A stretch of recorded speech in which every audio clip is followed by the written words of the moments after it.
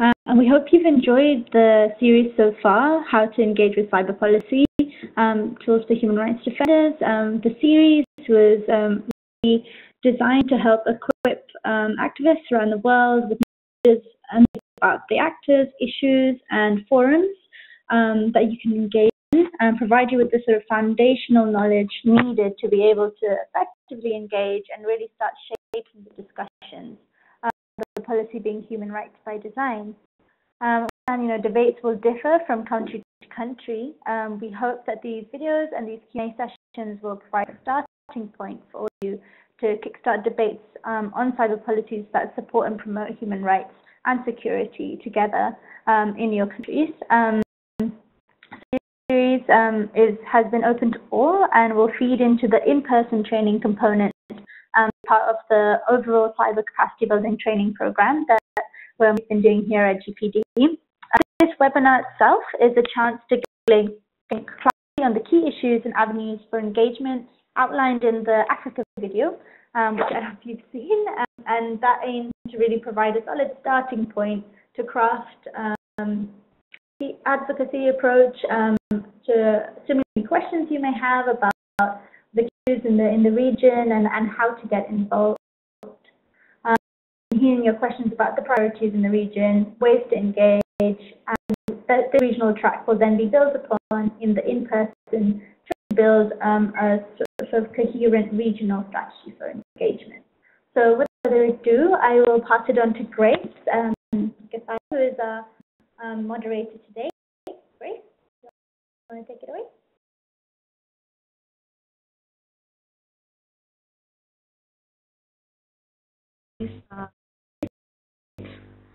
Like uh, Aditi has said, uh, the objective of this uh, session is really to gain clarity on key issues and avenues for engagement as outlined in the African video. And we are hoping that you have actually uh, watched uh, not just this African video, but series of videos on this topic that uh, G has been producing with with the of other stakeholders. Um, I deal with a starting point to start crafting an advocacy approach on how to safeguard human rights in the cyber policy. So to start off, we have um, panelists, uh, Emilar Vushe from APC, we have Moses Karanja from Strathmore University, Nairobi, and Gbenga, uh, I can never pronounce the second name. it's yes. Yeah. Yeah. So, okay. Paradigm Initiative Nigeria. And that just as a, as a way of kickstarters, I'd like um, them to just give us their one one sentence, one minute. But I'll start with Gbenga. Tell us. Uh, I'm, I'm Initiative Nigeria and two key areas of interest. That's uh, digital inclusion and digital rights. Uh, digital rights meaning talking a lot about cyber policies, but with a strong focus on internet freedom or digital rights uh, on the continent. Uh, thank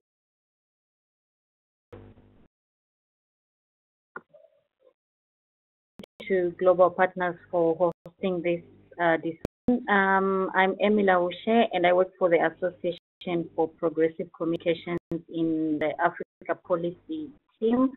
Um, and um, my interest really is everything related to the internet. Um, APC is um, is a global of uh, a membership-based organization, and we really don't just get excited for the sake of getting excited about the internet, but really want to use it to ensure that um, there is justice in the world. Thank you. Thank you.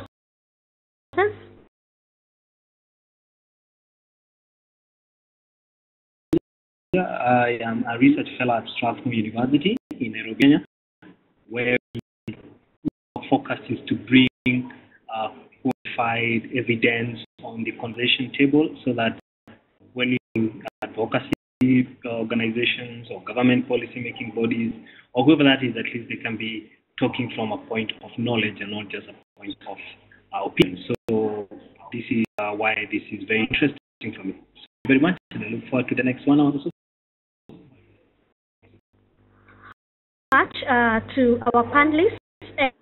I will go straight away to our first uh, question, uh, which is um, perspective. Uh, I know the three of you have been working very closely with policymakers in, in your different regions and prospective policymakers. Uh, what do you think are the main priorities in cyber policy? You can pick that question. Maybe off. So for for policymakers, I think it, it's really critical to look at what a trend is.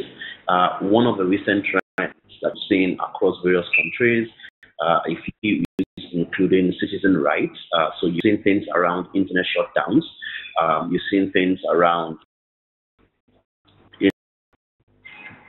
uh, not just internet shutdowns, but also in, in terms of privacy. So there's one in terms of internet shutdowns, either you know that is somehow or not strictly spoken against in existing laws. Uh, there's the privacy, but there's also the general um, where you know people are beginning to have conversations around the need to protect users, not just to have advocacy when someone gets arrested or not, but you know um, proactive conversations about what are the rights of, of citizens online. I think you know generally of interest is the concept of freedom of expression, uh, and someone will say freedom even after expression.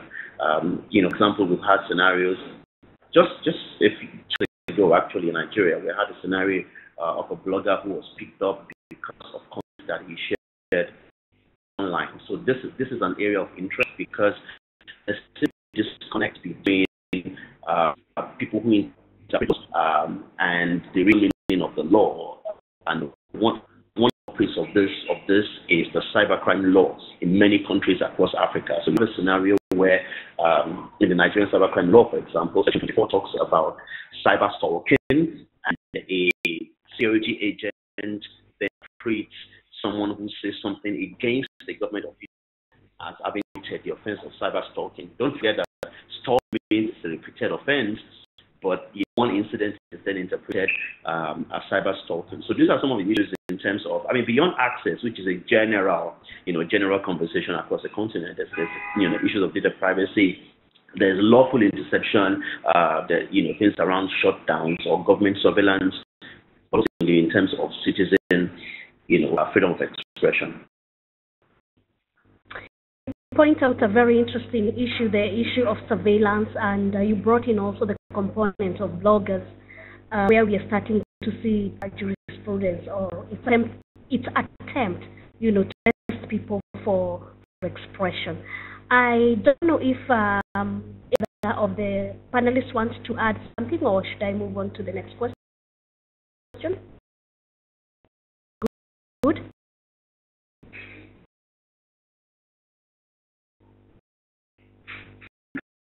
Uh, there's something that I've, that I've, uh, can you hear me? Yes, clearly. Chris, can you hear me? Yes. Yes, very clearly. Yes, we can. Okay, okay, great. So um, I think uh, the question of economic focus with policymakers, especially in government, if you can get most of the policies and laws, even multilateral agreements, like African Union Convention on Rights and the Comet region, all information security. The, uh, the issues of citizen rights around the internet, in the internet, you know, not something that was uh, uh, from the start. Number two, uh, thing that I've also we have also uh, is child safety probably the closest it comes to human security online, and and, and the question of hosting, uh, so that you have over devices that in the form of Facebook, WhatsApp, and all these kind of things, located and raise the data. You can see the, the conversation starting around we uh, sovereign states or that arrangement will come into when states need to secure this data or need to access that data. So that's something that, that also ties in very nicely around information control, what we talked about, about internet shutdowns. Increasingly, you can see this uh, spectacular case being which is having uh, uh, they have um, an internet curfew where the internet is switched off around 7 p.m. and around 10 a.m. So uh, this is that I, I, think uh, we can, you know, uh, work continue. Oh, thanks. Thank you so much, Moses. Um, as somebody who's been working a lot in human rights, you know, you're in the human rights movement, um, human rights and the internet. Um, would you have something to add on to this issue? Uh, I'll just add what uh, Gbenga and uh, Moses have just talked about. I think some of the issues that we are seeing um, is the militarization of the cyberspace, and I think Gbenga has already mentioned that uh, cybersecurity is being increasingly brought into the security agenda of um, African states. Uh, being the army, uh, the defense forces playing a huge role in terms of um, uh, security lines. And we have some countries actually having cyber desks or cyber commands in, in, their defense units. And um, this just shows that the internet is becoming uh, increasingly militarized. We know that a few weeks ago, uh, one country in the southern um, in southern Africa, um, the army issued a warning to you know like social media abusers and, and all that. So so it's something that we, we are also uh, seeing. Then I also want to just point out uh, cybersecurity and censorship. What I what is is that um, cybersecurity is being used to introduce and legitimize uh, censorship. And in that case, actually, such censorship, uh, we see our government um, to protect. Moses has already mentioned this, and to protect women. Uh, we know what happens uh, to online political uh, and also to to and this is just uh, is used to spy not just on citizens but also human rights uh, defenders. So th those are the two issues that I will just bring on the trends that we are seeing in terms of security. Thanks a lot. Uh, very useful information coming from. Um, I would like to move on to the next question, and which is, um, uh, we know that internet, or we have, we in, in, in civil society have been saying that internet is a right for and uh, mass, and, and everyone needs to have it. Why is there inequality in Africa? Is it a case of uh, accusation that there's enough spam, especially you know Nigeria being accused um, of generating lots of this spam? Um, we start with Gbenga. and spam and scam in one sentence. Uh, it's one of those things you have to deal with. You know, it, it's interesting. What what what is even the fundamental reason for equality? Um, have as much to do with scam and spam as with the mistakes we've made with laying the foundation for internet access. And, and forgive me a bit if back a few years into when laid the foundation for internet access. Don't forget, telephone in Africa was literally non-existent for landlines. That means that we we refused to do the groundwork in terms of terrestrial infrastructure. So when mobile phones came, we jumped on mobile opportunities, we jumped on mobile, you know, access, mobile broadband. But there's a problem between mobile, which has its own limits, um, and also don't forget the fact that the more the networks add on people, they don't add as much capacity because they want to make as much money as possible. And so because we failed in terrestrial infrastructure. When I say we failed, I mean we a lot of, a lot of cables at the ports. We laid a lot of cables uh, in Lagos and other ports across the coast. but we refused to do the groundwork in terms last mile. We did not connect, you know, a Lagos, for example, to a, you know, uh, somewhere in the interland. And because of that, relying on more internet, which unfortunately is profit and basically, you know, sell you, they call 2 Mbps, which basically plug and play. You know, you plug it and you start praying instead of plug and, you know, plug and play uh, internet. So I think infrastructure is one of the of the basic reasons. So there, there, there are a few countries who have gone ahead uh, to you know develop policies, invest structure, and do other things like that. So because of that, we've got a few countries that have scenarios where in the cities we have a lot of infrastructure and better access, and then you know in the interland you you don't have as much uh, access. I think, you know, I, I, want to focus a bit more. Maybe, I'll, maybe I'll come back to this later, you know, uh, after Emilar and Mose have also said a few things. But I think I would like to look a bit more at the infrastructure mistake we made. Uh, one, of, one of the things I say about Nigeria is that now that Nigeria has a broadband plan, as many other countries across the continent, there is an opportunity to make broadband the new GSM. And by that, I mean that in about 2001, we had a scenario where people said, oh, there's inequality uh, in mobile phone distribution as we now have for internet. Uh, but thanks to liberalization and market participation, um, the conversation around the fact that the poor can't pay for mobile phones is now a dead conversation.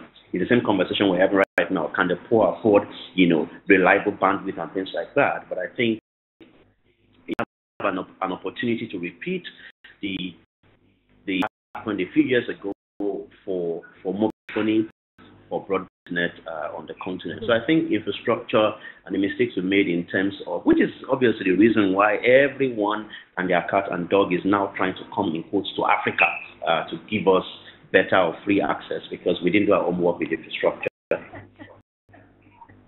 Oh my goodness, that is that, that last sentence is um is is from Gbenga. Uh,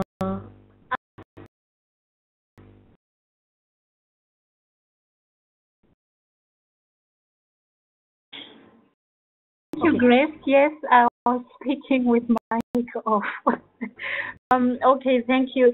I, I think Gbenga has raised um, a very pertinent point there, but I think um, focusing just on infrastructure alone uh, is not a solution. Um, to create, I think increased access to infrastructure should be coupled uh, with efforts to address political, economic, social, and cultural barriers uh, that prevent people from fully accessing the internet. Um, we know as women we do have our own barriers, young girls do have their own barriers, and those who are less able. So, so the, there is need for um, integration in terms of how we approach internet access in Africa and to defeat inequality as a whole. I also think policy in itself is interdependent, uh, and there are sectors that actually limit access to the internet, and this includes um, limited um, supply. Uh, we know in so many countries uh, to have uninterrupted power supply. So if uh, access in itself is cheap, uh, you if you don't have the power to even charge your cell phone or laptop, then it becomes a problem. So that needs to be dealt with by uh, basic ICT literacy, sufficient applications, local content, and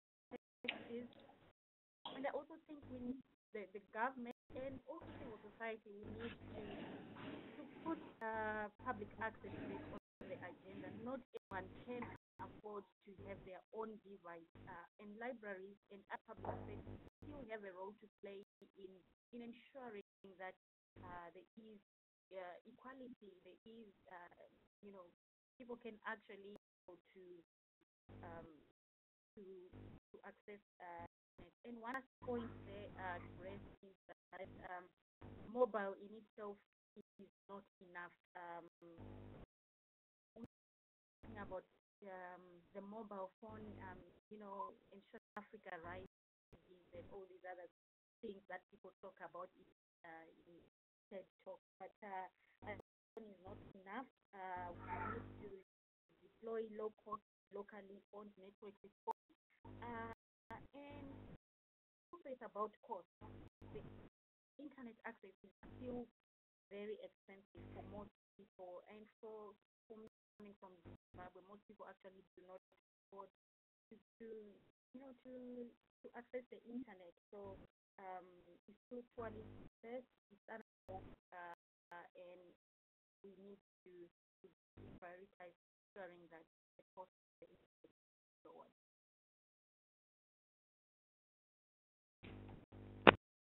Um, reason um, your volume went very, very low. Add anything or should I move on to the next question?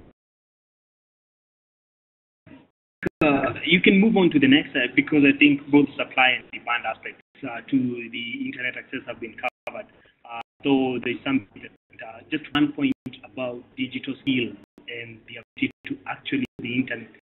The leaders of it to from wherever it's being supplied from to the people.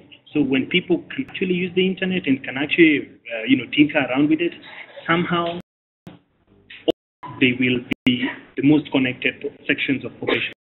So if we can track how our populations are acquiring those skills, and this is the question of uh, and horse, what came first? We cannot learn computers without or internet without having the internet. So it's a bit antagonistic there, but if we understand the trajectory of digital skills acquisition, then we can somehow understand why some sections of population using the internet while we think the same population we have some people who are not it can help explain some of uh, the separation between these populations. That, those are, that's my minor point there. Great point. I think also something about uh, infrastructure that both Emilar and uh, Ben emphasized on. Um, I think also the issue of uh, that lack of infrastructure in in um, in rural areas. So we have very good connectivity in the cities, but that's still a gap in the rural areas. Um, okay, I think Moses, now we come to you. What are the most, what would you say are the most uh, pressing cyber policy and human rights issues? Why do you think they are the most pressing? The, the, what I would consider the most pressing issue is how to mitigate securing space, the cyberspace, and ensure that and the dignity of the user put in, you know, is, is, is managed uh, pretty well. Now, this this has been issue for quite some time. It's not just about the internet. It's not just about cyber. It's not just all every other space uh, in effort to secure itself has all issues of how far do you go, uh, security to stop, and where does human start, or is it possible to have both, and how do you go about it? Now, if almost all conversations happening in Africa, the question is who a decision, who can make the call that this is a security issue, this is a human rights issue, and this is where we can demarcate. Now, all institutions from legislative to judicial oversight in terms of, uh, you know, um, warranties for interception of calls or interception of data. These, these are some of the oversight structures that, that region, but legislations are somehow trying to either avoid it or um, it's not provided for in the constitution in one way or the other between the separation of power. We find that increasingly institutions are trying to erode that kind of uh, oversight. So that is one of the most important cracks, the most, most important issue here. So um, maybe into examples, but uh, hopefully maybe some other people can also join, but then we can go into examples if needed. Again, you've also been in this area. What what do you consider uh, pressing policy and human rights issues? I hope you can hear me perfectly now. Yeah? Okay. Emilar, please speak closer to your microphone. We we can't.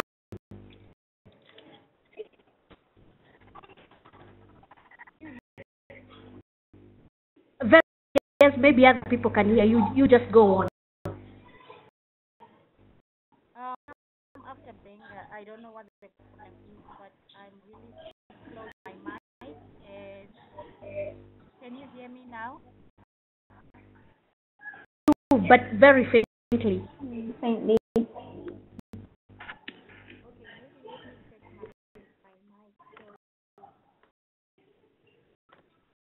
Okay. Could we have Gbenga and then we'll come back to you?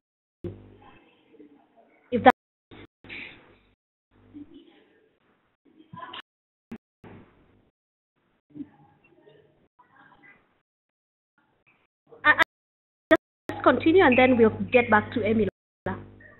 So uh, I think I think there's there's, there's data privacy uh, that is critical, and I say this because a lot of governments are beginning to gather data of citizens uh, in the name of you know, uh, better services, in the name of so for example in telecommunications you have people registering SIM cards uh, for census, you have all this for banks for private institutions beginning to collect you know uh, citizen data, and for many of the countries, there is the key question of data privacy. I mean, what happens if my data is, you know, managed? What happens if I'm mistaken, you know, for a terrorist? You know, the T word. What happens? I, do I do I get redress? Um, how, how how is that how is that addressed? I think I think that's one, one key issue that we need to look at. The other, uh, which which I've been interested is the fact that we offer a lot of copying uh, that happens from country to country and see what has happened with elections during this year. Uh, not even beginning with Uganda, but beginning with some other countries. You've seen countries beginning to copy. Uh, you can see Uganda, you can see Ghana. Uh, I mean, you, you can tell. One of the things that I looked at over the last few weeks is which countries in Africa are hosting elections over the next few months.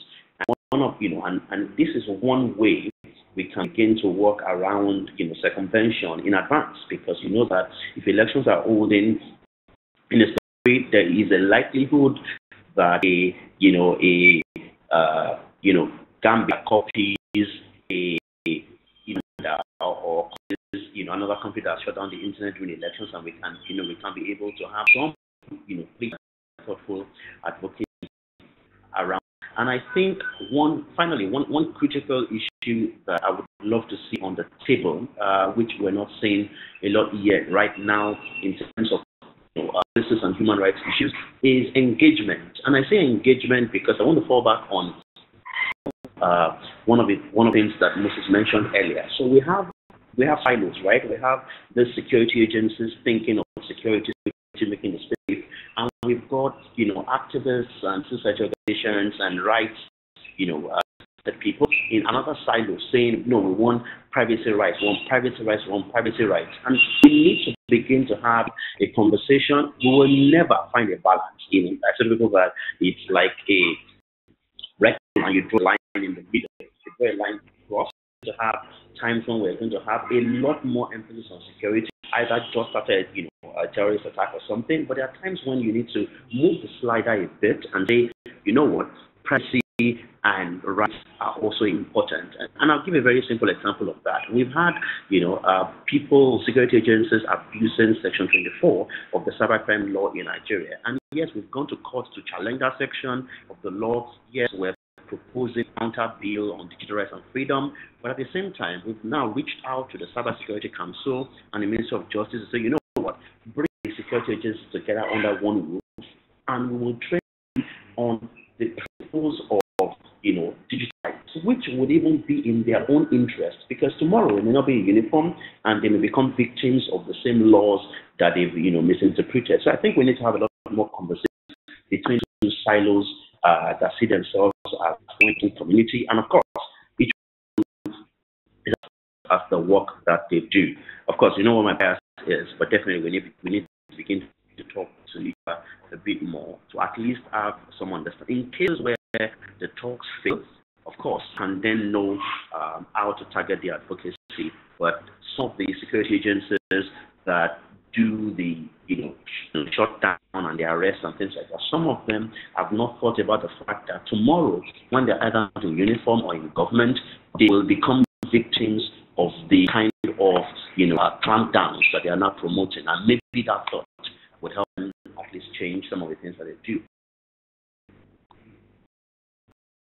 Gbenga, you've raised um, you've raised uh, critical, especially misuse of data, and uh, we don't know. Uh, that's a question that uh, in this uh, movement are, uh, you know. Uh, in that sense, then I want to find out, uh, Moses, somebody who's been researching a lot in this area. Um, what do you think um, is the role of private companies when it comes to for rights, uh, respecting cyber policy? I think actually uh, private companies are some of the most important cogs in this whole ecosystem in trying to maintain cybersecurity itself. Uh, I mean, uh, information security, you know, uh, defending the rights of their clients. These are the things that. Now, I think even if we had perfect laws, would be guaranteed of our human rights if the people are actually holding the data themselves have not had a whole experience of using the values of, you know, and the foundations of human rights. And I'm saying this uh, in, in, in of um, what we have seen uh, between, um, actually in the US, not necessarily. So when you saw Apple, uh, you know, mean, asked to hand over the San Bernardino iPhone issue, and uh, you could see how the Department of Justice at least uh, fought the case and Apple fought back. But actually, a lot of people are asking is, we never hear of uh, Google taken to court or to handle data. That it's so easy to get Android data, considering they're some of the leaders in, in terms of uh, the OS penetration, which is why Google has more users than Apple, but we only hear of this Apple case. And and that tells you a lot. Probably the, the, the amount of things that are happening behind the back, and this actually was confirmed by Snowden during the leaks that hand over zero-day exploits, exploits before they even notify or patch, so that the NSA or some of these organizations work on. So I think uh, we, we, think, uh, we, we cannot just Oops. Yeah. We- Is someone intercepting my call? What a fiber cord. Uh, okay, Moses.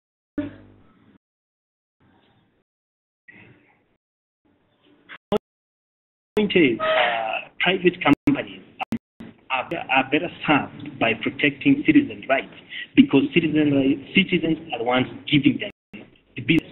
And on top of just the laws in terms of licensing and seeking clarity on how to go about uh, data access, and databases, uh, interception, can we also have tech companies and private companies that deal or handle data are being very clear role in ensuring that the technical much um, supported. So I would, I, I'm looking at a company saying, okay, laws can work and laws help a lot, but we know that when institutions don't respect the law, we also need to go a step further and then the technological uh, defense so that, you know, when we're talking about VPNs, we're talking about encryption, we're talking about anonymity. All these things are embedded in the everyday practice and operation steps in you know, their business, every, every other day business, from banks to all these kind of things, uh, from data collection, from data processing, and from data storage.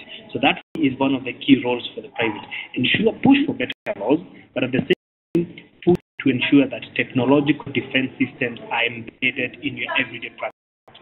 Thank you. Um, um, maybe Ila, you can also chip in. Um, we think we have we have like best have models of engagement between the society and the private sector. Uh, there is in this in this uh, topic of cyber.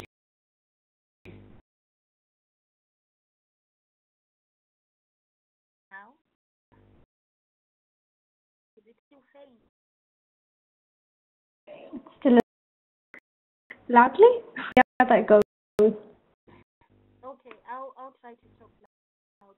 I think, yes, we do have some frameworks that we can use, like the African Declaration, um, which calls for uh, the companies, uh, you know, the technical companies, to, to really respect human rights to the fullest extent possible. And I think this is what Jose was, was, was saying, uh, in, in uh, where the uh, technical companies faced with governments violate human rights.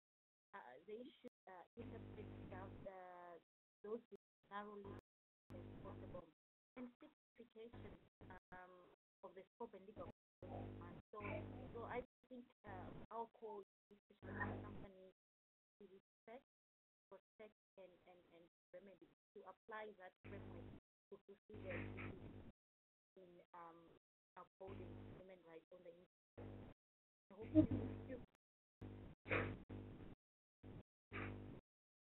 Wow, really, really struggling to hear what you're saying, Emilar.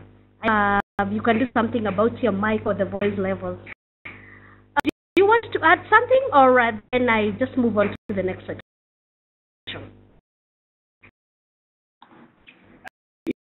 Inability to hear Emilar now is a practical demonstration of one of the critical issues that we have in terms of silencing the voices of citizens. I mean, it's, it's, this is when people are on the table and, you know, their voices are literally muted uh, by governments who shut downs.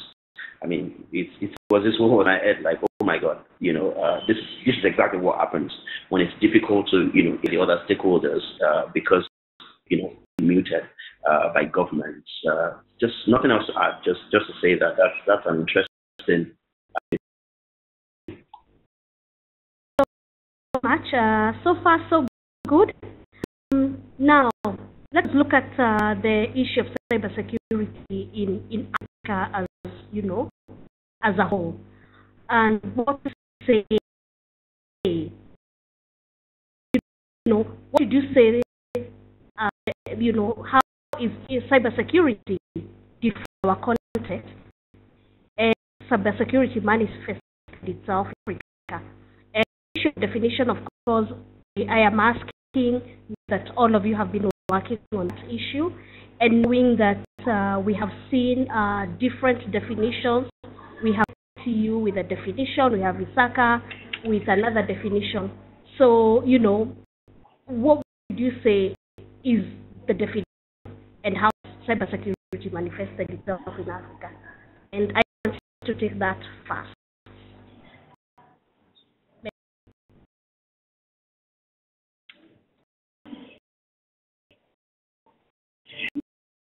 When you look at uh, what the probably intent, document of intent being the African Union Convention, cybersecurity, I mean, data processing, uh, the, the, the you find there is really unauthorized access to computer systems.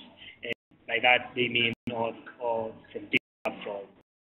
Uh, uh, but I think to, to the main lacking point for me uh, in most of these definitions that are also adopted by countries uh, include the you know um, confusion because that's uh, rather a condescending term, but I would say uh, cybersecurity with information security or equating cybersecurity with information security. And that's uh, information security is cybersecurity. There would be in, in, in, at least wider definition, but not so wide as to lose meaning. Uh, the more we are in a position to incorporate the human elements uh, the people in the, the, the, society, the community. That for me is important. However, I looked at uh, the Kenyan definition, uh, the security regulations that we have in Kenya under the uh, Kenya Information and Communication Amendment Act of 2013, and somehow it goes beyond just the information security.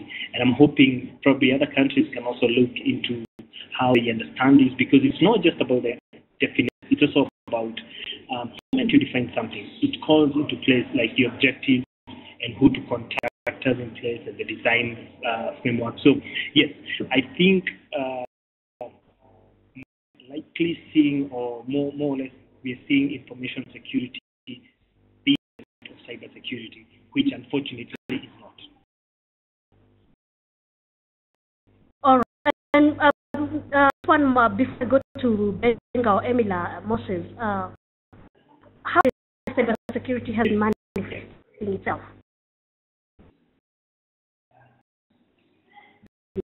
manifested itself? Uh, this conversation I always um, uh, with my colleagues in the office that when I'm reading any report or any uh, study that is being carried out around cybersecurity in Africa, it's so predictable that the first paragraphs will include um, the internet and computers have really helped us do one, two, three. However, cybersecurity have taken so and this is how much we are losing as a country, and then it's quantified in terms of billion. Go to Deloitte, uh, go to McKinsey, go to almost all kind of reports. They are always reporting using the kind of um, schema. I think the the corporate clients in in our the actors in the region have confidence in terms of being the agenda of how security is understood by governments and that uh, by extension the policy makers. Um, well, if you look keenly, even at reports that we find in the country, in country, you find rarely do you hear of people they say I lose like ten dollars uh, through scam. Uh, that will probably never ever find its way into those reports. What's being reported is, oh, please match money to this kind of hackers, or this money was lost to an insurance fraud, cyber, cyber, cyber, cyber crime. Now, when crime increasingly is only defined or only circumscribed within the business world, then what you're losing out is the EC and the place of the citizens themselves who are using in small amounts of money that accumulates into all this money. But something important, the loss of confidence in engaging with cyberspace. Uh, you know, it, affects even like uh, small businesses. You don't even want to have your business online because you're not sure whether you can, you know, uh, you will lose money or lose all savings. So it's important that uh, the, the, the, manifestation of cybersecurity uh, moving from me to move from the business world or the business definition towards the whole approach of cybersecurity, which incorporates even the citizens or the human Okay, thank you. I think you have uh, responded in a comprehensive. Uh, thanks a lot. Uh, you know, look at the issue of cybersecurity. It's it's really it's a topic, and uh, like you know, we are seeing different uh, issues emerging into cybersecurity. So, areas, or what are let's let us just say, what are the main areas that we should focus on uh, African context? And I think we have missed Emilar's voice. Emilar, you there now? Now I hope you can hear me. Now. Yes, I think uh, there were some uh, dark forces out there who were trying to to ensure that I don't uh, use my voice. On the issues that we need to focus on, this, I think we can even go back to the question that you were asking now about the definition as civil society as human rights defenders to be able to engage meaningfully. We we need to to you know like to understand what cybersecurity means. It is currently it's so broad, um, and in the end, it you know it confuses not just civil society but all, all the different uh, uh, sectors within uh, civil society. Cybersecurity, unfortunately, has come to mean like a huge spectrum of things, um, and not does this lead to to powers um, that that really broad in application but it's generating um, a consensus that is real in the civil society space, in the human uh, within the human rights defenders uh, uh, also think one of the issues that we need to talk to tied to the definition is this uh, logical speak fear mongering. Um, I think we, whenever we talk about cybersecurity, we we we talk. I don't. People present it in such a way that you, um, you know you have to fear, you have to be afraid, uh, and cybersecurity can actually be very complex, particularly to those uh, who do not have technical background. So I think it's something that we need. Sounds basic, but I think it's something that we need to um, to to look at uh, as civil society, uh, also as human rights defenders. Thank you. Gbenga, do you want to add something? Just add one word, and that word is terrorism. Um, that, that unfortunately is almost central to the conversation around cybersecurity in Africa. It is what many governments use to create the climate of fear because many times when you talk about citizen rights, the response you get is if you have nothing to hide, why are you afraid? Why are you asking us to not have this you know complex conversation about cybersecurity? Are you siding with the terrorists? Think that many times we need to step away from the state of fear to be able to sensibly engage uh, with cybersecurity issues and, and take away the you know emotions and fear of T terrorism. Just that, uh, to add that to uh, I, I would like to go back to Moses because I know he has uh, been conducting a lot of research uh, uh, on this topic, both uh, nationally, really, and even um, at, at the African level. And Moses, um, I think that question um, you would actually, out of your experience and out of the research that you have been conducting, what should be our focus? Um, yeah, I think we talked about being too narrow and avoiding to, you know, the whole idea of just being all place. But I think it's very important that uh, all security in itself, like you yourself, the way you use your computer, the way you use uh, your phone to connect and do all these manner of things, that basic digital security is very important in trying to turn to turn the whole net from the technical perspective. And, and I think uh, cybersecurity being looked at from perspective start that point.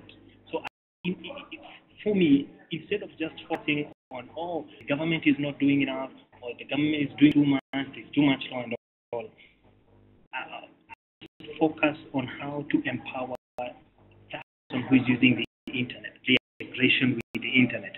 That for me is where it should start. That should define uh, all the way how the policies are made, and because in, in, increasingly people themselves will learn how to integrate and how to ask the right questions, how to say, actually, this is not terrorism. When I'm encrypting my emails, it's not about encrypt. It's not about, I'm not anything. It's just my space. I need my space. So that for me is very important. Okay, I don't know whether you meant the whole idea of what specific policy should focus on, but I felt in my understanding and uh, look around almost everything that is being done, you're being told we are securing you, but you don't even know what you need. Almost all reports, almost all findings show that the biggest, the weakest link in all this system is actually agency, empowering the human agency. How can you talk about security that you are the one to make the decisions on which websites to close or who, who to who to jail because they have violated all these kind of things, and yet dealing with the elephant. So let's focus on human, I mean, the, the basic digital security, and then we can move from there. That for me is one of the most important aspects. Uh, and I, I'll come, I come back to the issue that Gbenga raised, and I think that, that, that's because it's an issue that um, that affects the country that I live. The that uh, it has been uh, been proven that uh, groups like Al Shabaab using you know the internet to recruit uh, to recruit uh, new people into their movement and even to communicate and end up committing atrocities. That is a concern for us. But is how do we address, this is just one example, there are many other examples. So how do we address this whole cybercrime that we don't undermine human rights?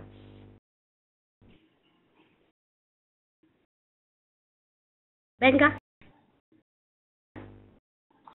Okay, so this this is one of the conversations we've had, you know, uh, in in Nigeria and other countries over the last few months. So this is this is very practical. It's an opportunity for governments to an opportunity for governments to hide behind you know a law or policy for their own intentions to clamp down, or you know just overzealous security agencies taking advantage of you know vague provisions in cybercrime laws to please their bosses or guards, as, as we call them. But the three key things. One is if it's in a stage where it's not yet law, the opportunity to take a critical look uh, at the various sections that could compromise. And the way they compromise, um, mostly in terms of language, there's, there is exactly uh, a cybercrime law that says that if you speak mind, we will arrest you and put in jail for three days. Mm-hmm. Usually, it says that if you say something that causes political disturbance or that goes against national security, and that's where the problem is, that phrase national security can mean anything from insulting my mother to, you know, in the presidential palace or things like that.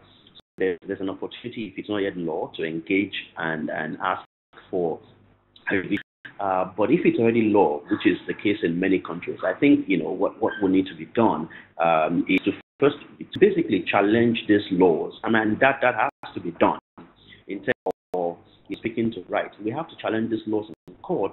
Uh, the countries where there are new cybercrime laws that are not friendly to rights, many of those countries already have constitutions that have a provision uh, for right. So we can challenge this, you know, these laws uh, with the background of the of the constitution.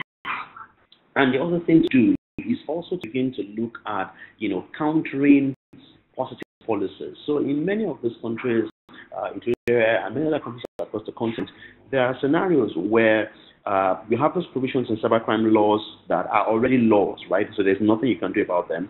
But what you do is to draft. So in Nigeria, we've drafted something called the Digital Rights and Freedom Bill.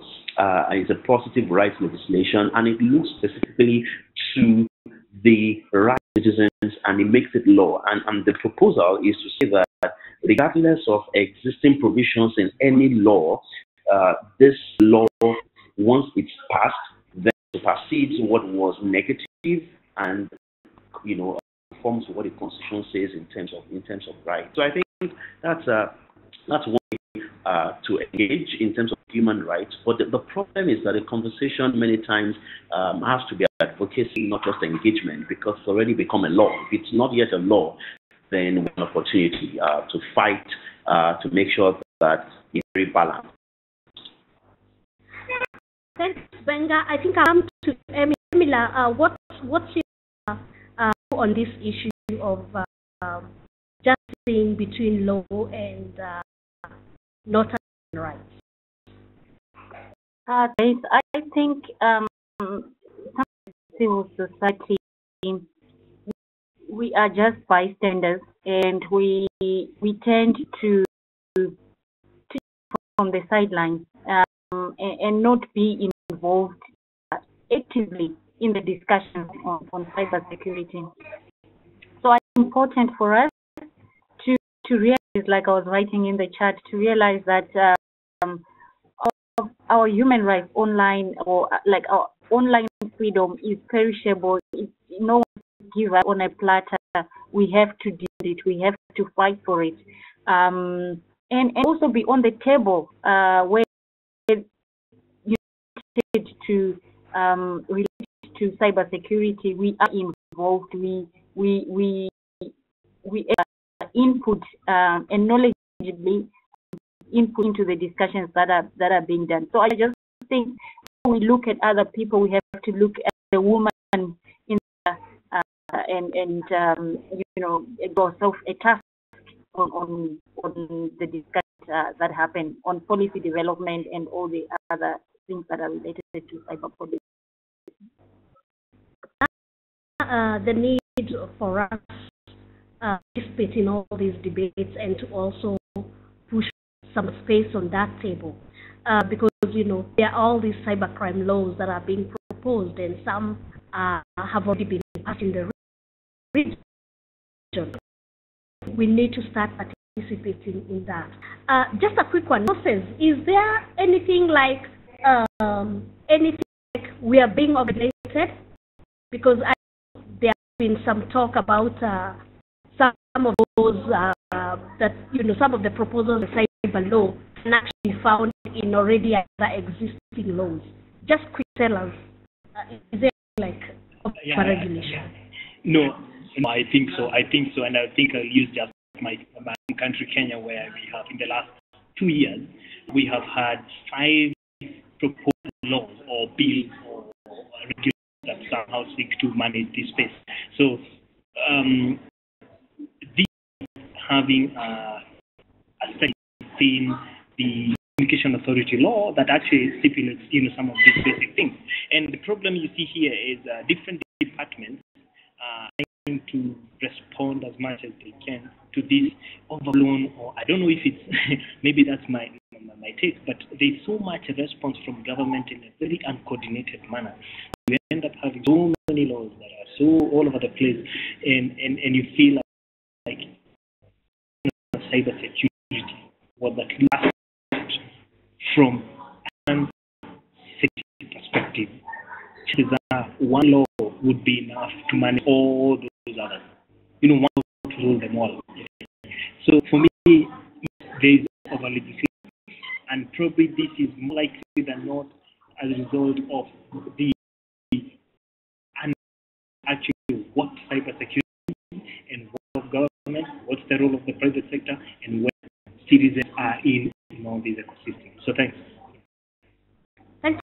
That's a, that's a very great response. Uh, we are almost ending, but uh, we would like to, just out of the your views, the three of you, I think we we have an opportunity, uh, say civil society, uh, to push against trends of surveillance and censorship in Africa. Who wants to go first? Okay. I, absolutely, absolutely. Um, if we do not want to become endangered uh, species, then we need we need to push back. And the reason I say this is that the road to hell, they say, is paved with good intentions. Unfortunately, uh, one of the things that you know I mentioned earlier. Governments are copying each other, and one of the things that we can see is that when one country is able to do something, um, it's like you know the president says to each other, "Oh, my friend, we were able to arrest people and nobody spoke up. Let me try my own country." This because if we're not careful, I mean, we some countries, and I can North Korea for example, and everyone says, "Oh my God, we wouldn't want to be like North Korea," but North Korea doesn't happen in one day. It happens as it it happens as a piece of things. Somebody gets arrested, everyone looks away and says it's not me. Uh, the next person gets picked up, and everyone says, well, maybe it's justified, maybe it's related to a terrorist or something like that. And at the end of the day, before you know it, the structures are so weak that nobody to respond. So I think that if there's any time to begin to have digital rights advocacy, you know, continent, it's about now that we're beginning to see a trend. I mean, look at a very good example of Ghana, where some, you know, interesting police chief saw what happened in Uganda and said, oh, Charlie, we're, we're going to do the same thing in Ghana in December.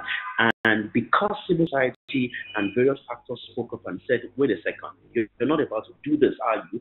Uh, this is a stupid thing to do. Because of that, the president made a statement to say there is no point to shut down the internet in, in, in, you know, in December. So I think it's important. They say it's the price of liberty. You know, you need to even do more than internal vigilance when it comes to fragile liberty. I think what we have across the continent is fragile liberty.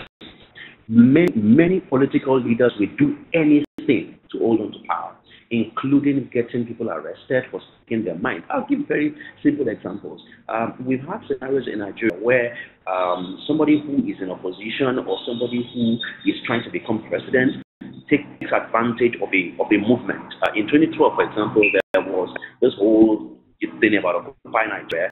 And the Paul was vice president at the time, Goodluck Jonathan, because you know those protests became president. And when he became president, he then turned and said, "Oh my God, you guys are political. You're the devil."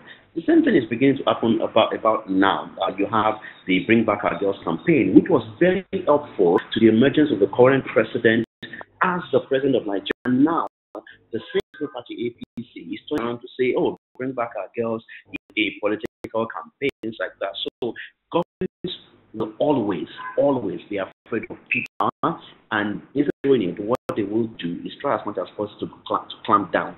So we have a choice. This is not even a question of can we. It's a question of if we don't, we die. Okay. Um, any of the two speakers, do you want to add on to that?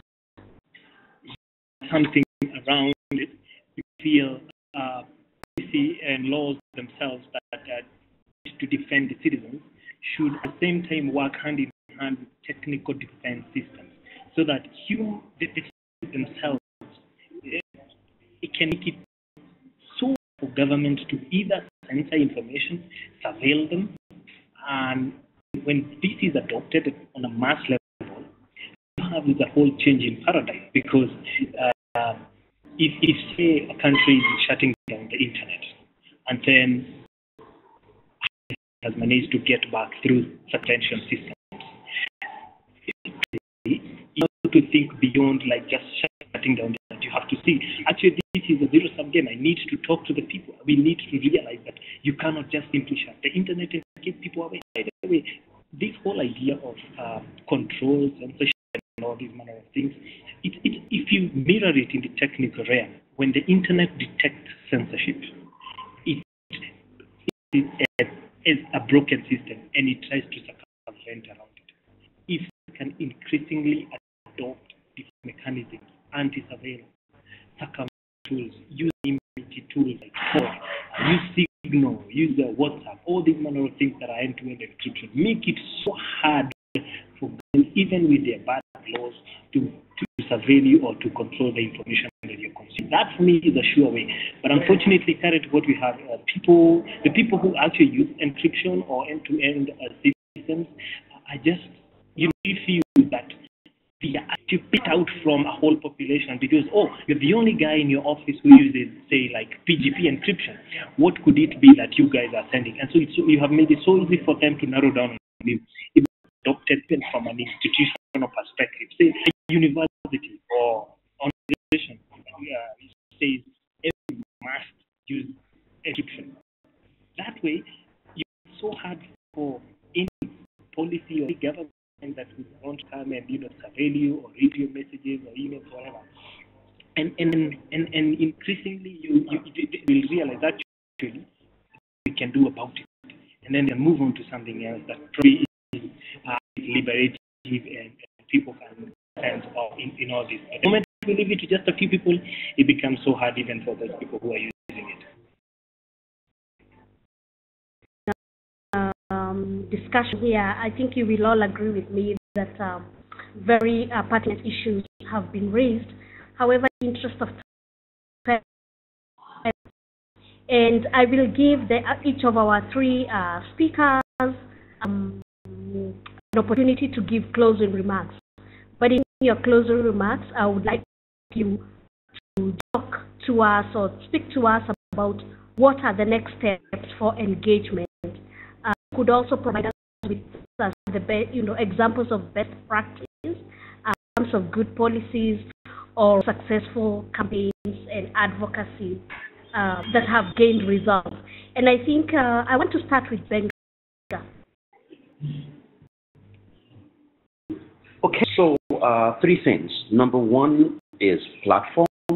Uh, number two is best practices, and number three is research-based advocacy. When I say platform, I mean that um, we, we, now have uh, you know an opportunity for conversation. Uh, initially, we used to all meet at the site meetings at IGF.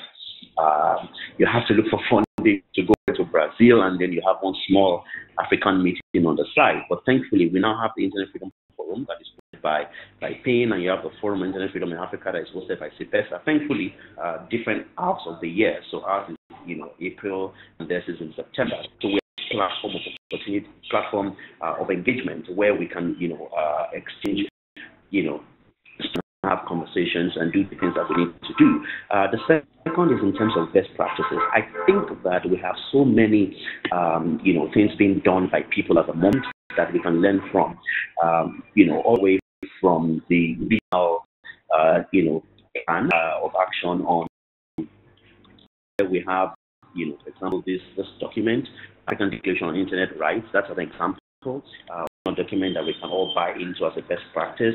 We can have sub-regional, you know, opportunities where people can exchange, you know, what they've also done. You know, we have examples of what happened in Uganda uh, when the internet was shut down. Our society was able to mobilize to make sure that even people, people were cut off uh, from the internet, they were still get back online. So I think we need to share this best practice some more. Uh, thankfully, uh, the platforms that I talked about are an opportunity for us to have these conversations uh, from time to time of best practices.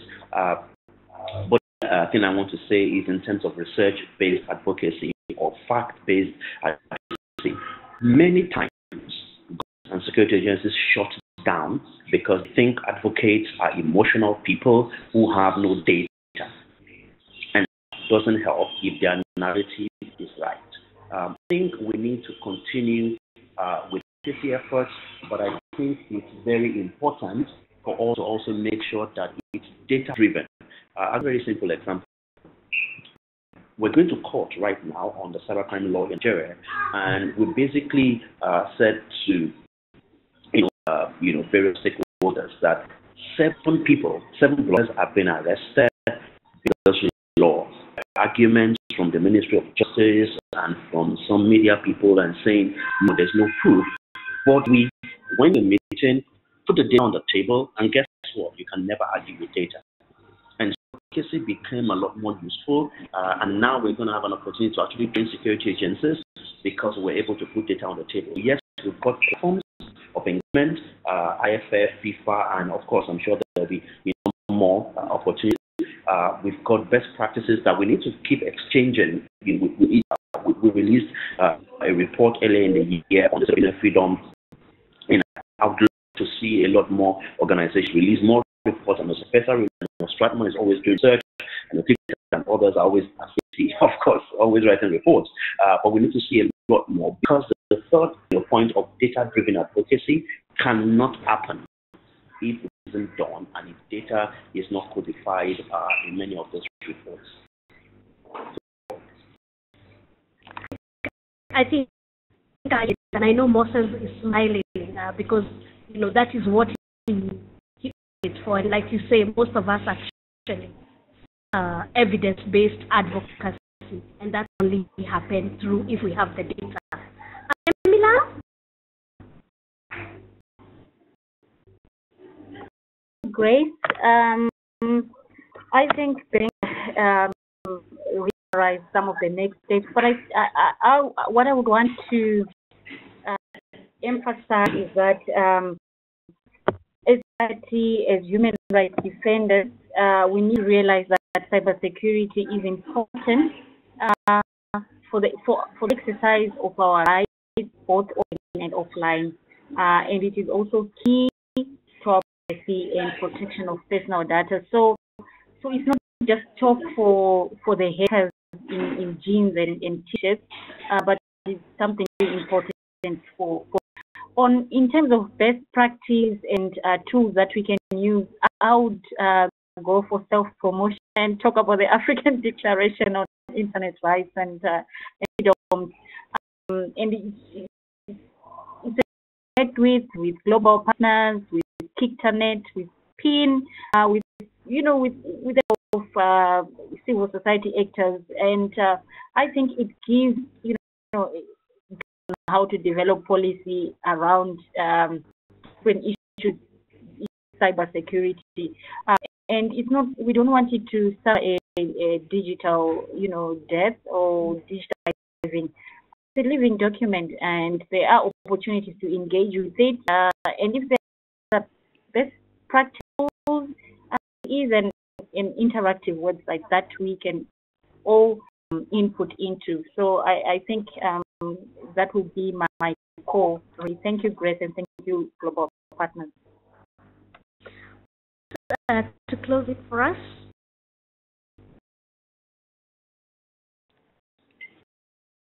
Of personal defense systems, so we can all start encrypting whenever possible. That would be a good thing.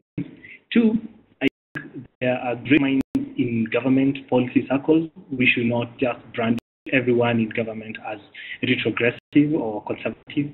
I think those are people we need to start engaging with because we have time for people who have and who have uh, some sense in whatever they're saying. So, a couple with what Gbenga said about data-driven advocacy and partnership with people in government who understand these things, I think we're headed in the right direction. But also, it's passion in trying to self-promote. I've shared on the chat with everyone uh, a tool that we use here in Kenya uh, to to ICT policy uh, formulation in the next uh, few that will guide Kenya for the next few years. There was a component around cybersecurity, and people actively participated, commenting on specific client specific words. And that for us, I mean, it's an open source. If you feel that it's something you would want to incorporate in your country, uh, feel free to contact me. We can see how we can do that because uh, it's available on GitHub. So yeah, we call it Jelly. And uh, thank you very much for everyone who turned up and tweeted or did something uh, for the conversation. Thank you very much. Uh, I think uh, I would like to wind this up by saying that we are very grateful to to Emma, to uh, to Moses, and Global Partners for putting this together. Aditi, uh, you've done a lot of work, you and Daniela. Thank you. And all the participants for, for having time to participate. And like I started uh, when when we started this webinar, I still emphasize that this is a chance provided for you, you know, just a glimpse to gaining clarity on the key issues and, and, and needs for engagement, uh, as outlined in that African video that uh, we already produced. Um, we hope that uh, you it uh, cybersecurity in Africa, uh, and that you know you will remember that we need to balance between cybersecurity and rights. So thank you very much, and uh, see you somewhere soon. Thank you. Bye. Thank you.